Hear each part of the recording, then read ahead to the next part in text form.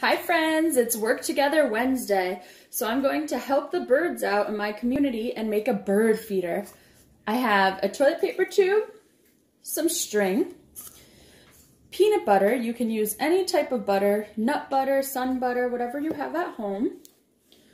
And I have my bird seed. So first what I'm going to do is I am going to open up my peanut butter.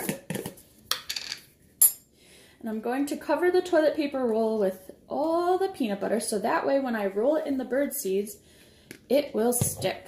So I'm just gonna spread it along. And I'm gonna put my fingers in the middle so that way it's a little easier to hold.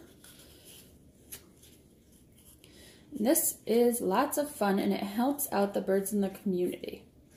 I'm also later on today going to weed my garden, which also helps build a cleaner earth and a better community. Okay, so that's just about covered. And now I'm going to pour, my bird seed on my plate. Just move that a little bit so you can see.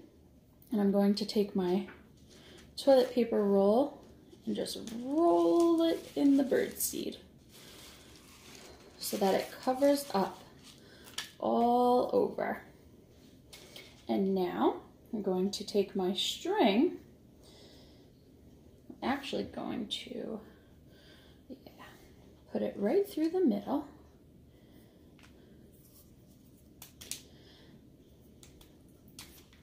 Tie it together, and then I can hang it outside. I hope you have fun working together today. See you soon.